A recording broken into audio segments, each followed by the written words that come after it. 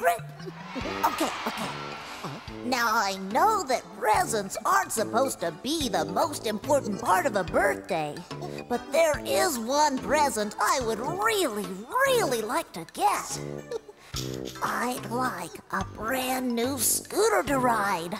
I want a big one that's bright red, just like a fire engine.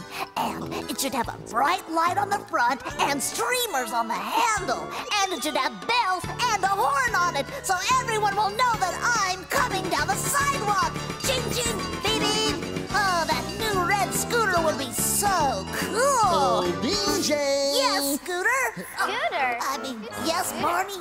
Is it time for my party to start? Well, not quite yet. Yeah, we've still got a show to do for all of our friends here.